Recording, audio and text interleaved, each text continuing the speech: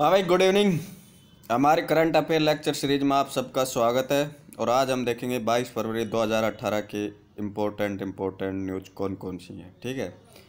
आज हम revision express नहीं ला पा रहे हैं क्योंकि तबीयत थोड़ी आज डाउन है, ठीक है? रिवीजन एक्सप्रेस से संबंधित फैक्ट इसी के दौरान अपन कवर कर लेंगे, ठीक है? एज यूजल जो मोस्ट इम्पोर्टेंट न्यूज़ होती है, उसको हम लेआउट के रूप में रखते हैं और आज हमने रखा है प्लास्टिक से संबंधित। और प्लास्टिक से संबंधित अगर इस चार्ट को फ्लो चार्ट को आप इस इमेज को गौर से देखें तो आपकी आँखें खुली की खुली रह सकती हैं। क्यों रह सकती है? क्योंकि एक साल के अंदर 500 बिलियन कितना? 500 बिलियन टन प्लास्टिक जारी किया जाता है। प्लेनेट पृथ्वी पर 500 बिलियन टन प्लास्टिक फेंक दिया जाता है। ठीक है? 800 मिलियन टन अस्सी लाख प्लास्टिक, अस्सी लाख टन प्लास्टिक कहाँ पर? महासागरों के अंदर छोड़ दिया जाता है। यानी कि हर मिनट एक ट्रक प्लास्टिक का कहाँ छोड़ा जा रहा है? महासागरों के अंदर छोड़ा जा रहा है। ठीक है? पचास परसेंट इसमें से प्लास्टिक ऐसा होता है जो केवल एक बार यूज़ किया होता है। जैसे अपन डिस्पोजल एक बार पी और फेंक देते हैं। ठीक है? हर एक मिनट में एक मिलियन दस लाख प्लास्टिक की बोतलें खरीदी जा रही हैं। ठीक है? और पूरे वर्ल्ड के अंदर जितना भी वेस्ट प्रोडक्ट है, उसमें प्लास्टिक का हिस्सा कितना? है दस परसेंट प्लास्टिक का हिस्सा है। और चार हज़ार उनसठ टन। चार हज़ार उनसठ टन प्रतिदिन वेस्ट प्लास्टिक का निर्माण किया जा रहा है। वेस्टेज के रूप में फेंका जा रहा है। तो कितनी बुरी कंडीशन है? इससे संबंधित ही फैक्ट अपन देखेंगे कि क्या न्यूज़ इससे रिलेटेड है। तो प्लास्टिक का थोड़ा कम यूज़ करें, ठीक है? कप कप में चुस्के ले, चाय की चुस्के ले रहे हो तो ठीक है? रादर देन प्लास्टिक में, ठीक है? दूध पी रहे हैं तो कप में पिए, ठीक है? प्लास्टिक के कप के बजाय कुछ तो करिए। ऑफिसर बनने जा रहे हैं तो थोड़ा पर्यावरण प्रदूषण पर अभी से इनिशिएटिव ले तो ज़्यादा बेटर है। तो लेट्स स्टार्ट पहली जो न्यूज़ है वो क्या है? पहले जो न्यूज़ है वो ग्लोबल करप्शन इंडेक्स क्या? ग्लोबल करप्शन इंडेक्स जारी किया। तो पहली बात तो ये ग्लोबल करप्शन इंडेक्स जारी कौन करता है? तो ये ग्लोबल करप्शन इंडेक्स जारी करता है ट्रांसपेरेंसी इंटरनेशनल कौन जारी करता है? ट्रांसपेरेंशियल इंटरनेशनल ट्रांसपेरेंशियल इंटरनेशनल क्या नॉन गवर्नमेंटल बॉडी है। कहाँ पर, कहाँ की है? बर्लिन की। कहाँ की? बर्लिन ठीक है? कितनी कंट्रियों में ये जारी किया एक सौ अस्सी कंट्रियों की रैंक और उसमें भारत, हमारे भारत देश का नाम नंबर कितना है? Eighty one. दो हज़ार सोलह में कितना नंबर था? Seventy nine. तो इसका मतलब है कि मोदी जी के राज में भी करप्शन तो बढ़ रहा है। लेकिन इसमें इतनी निराश होने की बात नहीं है। इस लिस्ट के अंदर अगर आप डिटेल एनालिसिस ले, वो इतना काम का नहीं, फिर भी आप सुन लो। ब्राज़ील के अंदर भी करप्शन बड़ा है। 96 रैंक पर पहुँच गया एक सौ अस्सी देशों में।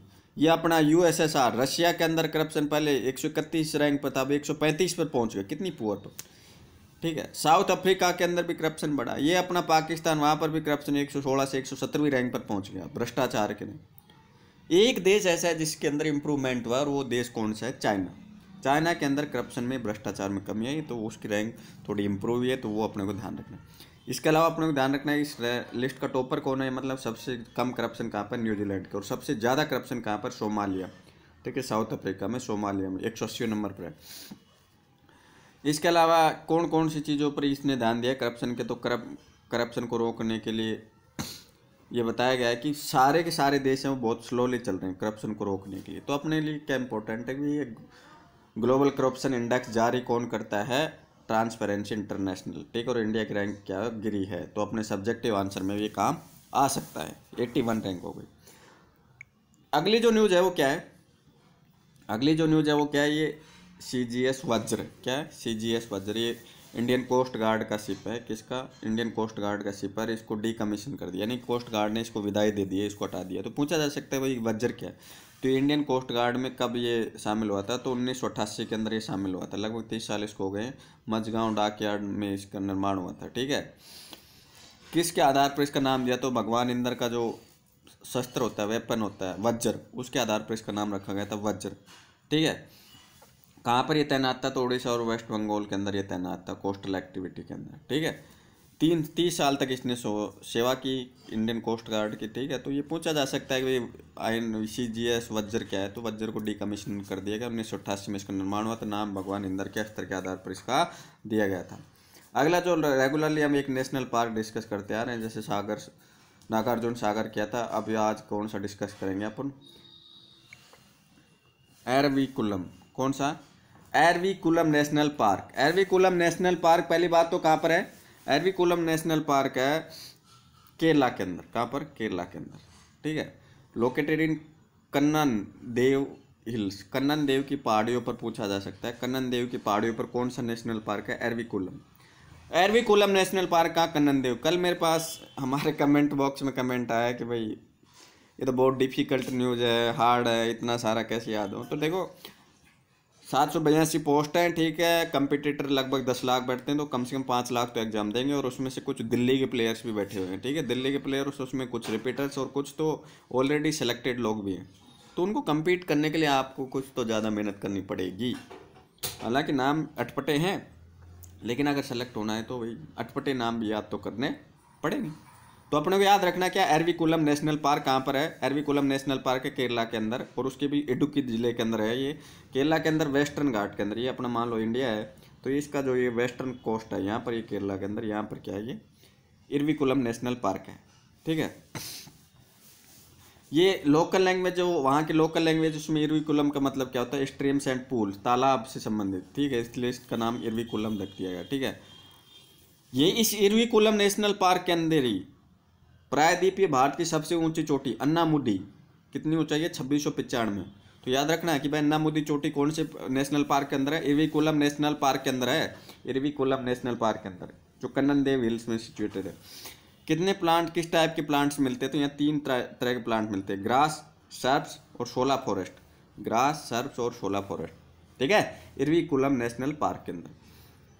अगली क्या खास बात है इस इरविकुलम नेशनल पार्क की? इसके अंदर एक एंडेमिक प्लांट मिलता है। एंडेमिक का मतलब अपने पहले बताया था एंडेमिक जड़ वर्ड जहाँ भी मारा जाता है, इसका मतलब वो स्पीशीज या वो चीज़ केवल उस जगह पर ही होती है। स्पेसिफिकली उसी जगह पर होती है। तो ये नील कुरंजी का जो पादप है नीला कुरंजी, ये कहाँ पर मिलता है? इस एरविकुलम नेशनल पार्क में मिलता है, वेस्टर्न घाट पर। और ये बारह साल में एक बार फ्लोरिंग करता है।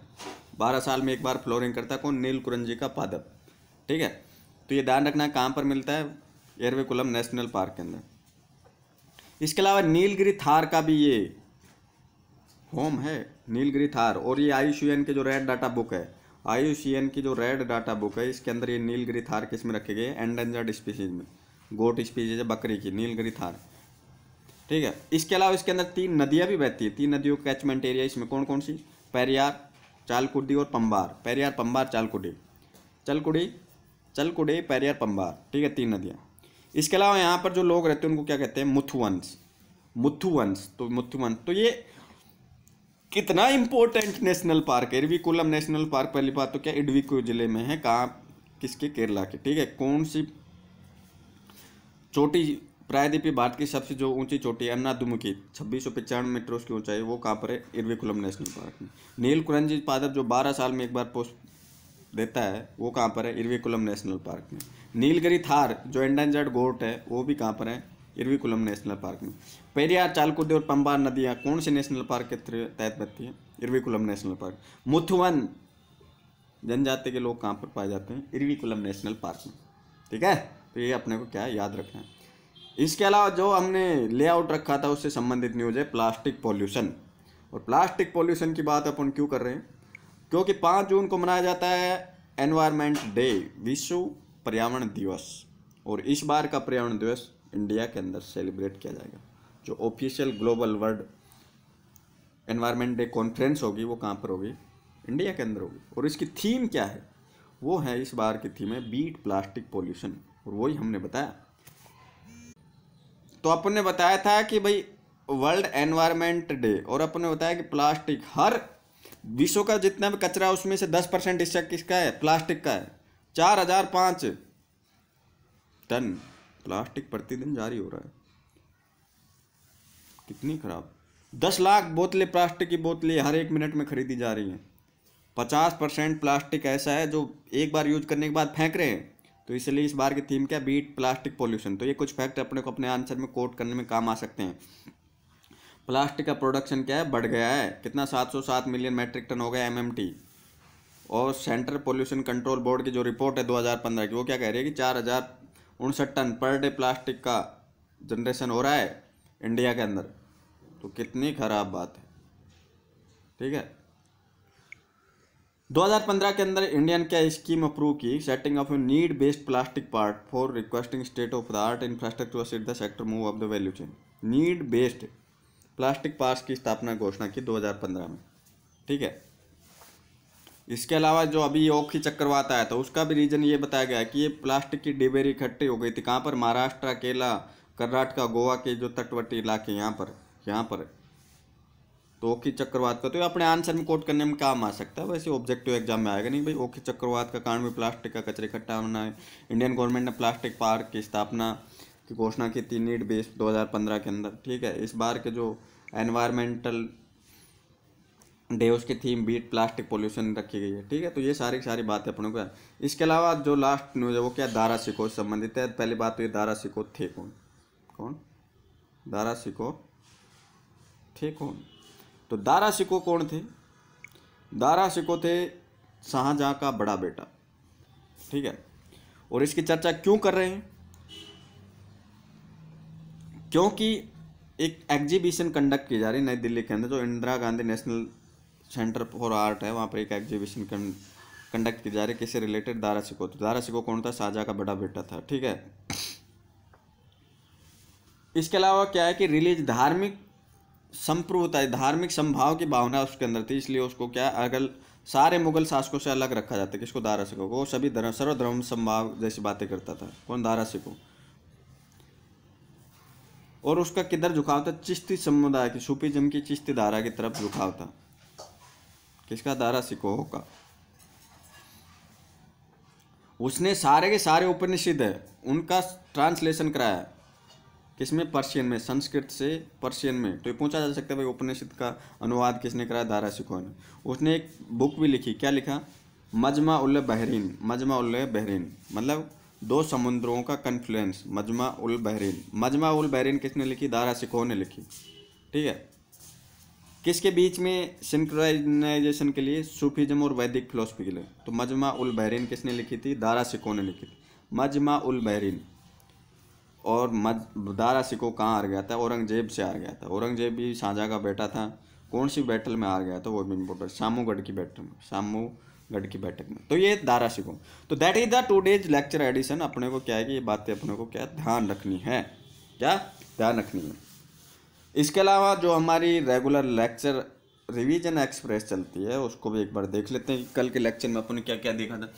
तो कल के लेक्चर में अपन ने देखा था एक तो N U H F national urban housing fund उसमें खास बात ये थी कि भाई ये कौन से, किस के अंडर में आता तो B M T P C अपन ने बताया था building material and technological B M T P C promotion council को। साठ हज़ार करोड़ का ये फंड है, ये बताया था। बताया था कि नहीं?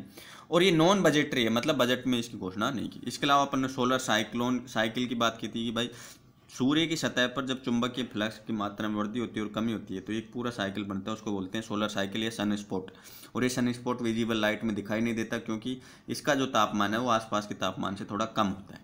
ठीक है, ये बात आपने बताई थी। ठीक है, और ये जो सोलर इक्वेटर है सौर भूमध्य रेखा, उसके दोनों तरफ़ फैला हुआ रहता है। ये बात बताई थी, नहीं बताई थी। इसके अलावा अपन ने बताया था यूकाटन जो प्रायद्वीप है, मैक्सिको के अंदर, यूकाटन, वहाँ पर सबसे बड़ी अंडर वाटर केव खोजी गई। ये बात भी अपन ने की थी कि नहीं? इसके अलावा अपन ने यूनिसेफ की neonatal report death report discuss की थी, उसमें बताया था कि इंडिया के अंदर छः लाख बच्चे एक महीने की उम्र से पहले मर जाते हैं। और इंडिया के अंदर जो न्यूनेटल डेथ रेट है, वो कितनी? पच्चीस पॉइंट चार है। ठीक है। हालाँकि ये बताया था कि अपना केरला, गोवा वगैरह वहाँ पर न्यूनेटल रेट कितनी दस है और ये बिहार वगैरह में कितनी चौवालीस है। इसके अलावा आपने बताया था कि अंडर फाइव मोर्टिलिटी रेट क्या होगी? कम होगी। पहले कितनी थी? तैंतालीस थी, अब कितनी होगी? उनतालीस। इसके अलावा अपन ये बताया था कि भाई ये न्यूनेटल क्या होते हैं? वो होते हैं जिन बच्चों की उम्र एक महीने से कम होती है। वन मंथ से कम उम्र वाले बच्चे, एक महीने से कम उम्र वाले बच्चे क्या कहलाते हैं? न्यूनेट न्यूनेट्स कहलाते हैं। ठीक है? इसके अलावा फिर अपन ने बताया था कि भाई मैक्सिको की जो सिटी सिटी है, वहाँ पर एक पिरामिड सिटी खोजी गई है। ठीक है? वो एक हज़ार से तेरह सौ पचास सी पुरानी है। ठीक है? और उसका नाम क्या है? उस सिटी का नाम है अन्नागा मोको सिटी। कौन सी सिटी? अन्नागा मोको सिटी। अन्नागा मोको सिटी कहाँ पर? मैक्सिको में। ठीक है?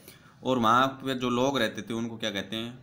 प्यूरोपेचा। प्यूरोपेचा कहते हैं। ये बात अपन ने बताया अन्नागोमो सिटी प्यूरोपेचा।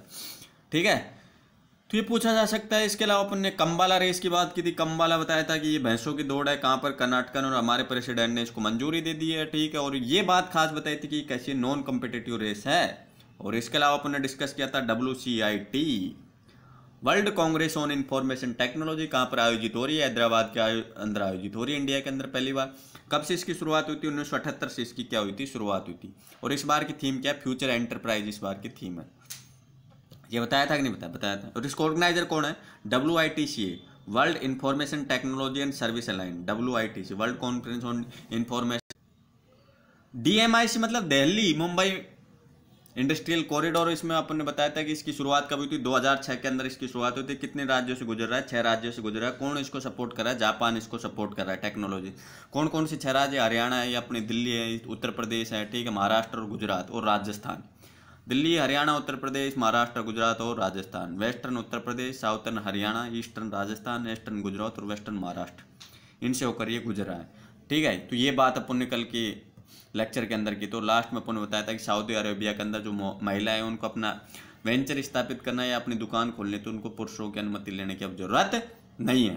ठीक है तो ये अपना रिवीजन था कि कल अपन ने क्या क्या डिस्कस किया था। आज के लेक्चर का फास्ट रिकैप ले लेते अपने दारा सिको को देखा कि भाई शाहजहाँ का सबसे बड़ा बेटा था। ठीक है, इसके अलावा अपन ने प्लास्टिक के बारे में बात की और इस बात का जो पर्यावरण दिवस पाँच जून को उसकी थीम क्या है? बीट प्लास्टिक पोल्यूशन इसके अलावा अपन ने बात की नील इरविकुलम नेशनल पार्क कहाँ पर है? केरला में इसकी खास खास बातें अपने को ध्यान रखनी है कि भाई प्रायद्वीपी भारत की सबसे ऊँची चोटी अन्नादुमुई, कहाँ पर है? इरवेकुलम नेशनल पार्क के अंदर है, ठीक है? नीलकुरंजी जो बारह साल में एक बार पुष्प देता है, वो भी पादप कहाँ पर इरवेकुलम नेशनल पार्क के अंदर। नीलगिरी थार जो एक बकरी किस्म है एंडेंजर्ड स्पीसीज वो भी कहाँ पर पाई जाती है? इस इरविकुलम नेशनल पार्क के अंदर, ठीक है? और इसके अंदर जो लोग रहते हैं, उनको क्या कहते हैं? मुथुवंश, ठीक है? इसके अलावा अपने ये वज्र देखा कि भाई, इंडियन कोस्ट गार्ड ने वज्र को क्या कर दिया? कमिश्नर और इसके अलावा ग्लोबल करप्शन इंडेक्स तो ये हमारा आज का लेक्चर है। ऑप्शन आप सबको पसंद आएगा, आपके एडवाइस आपके सजेशंस ज़रूर हमारे कमेंट बॉक्स में कमेंट करें। ठीक है? Thank you thank you so much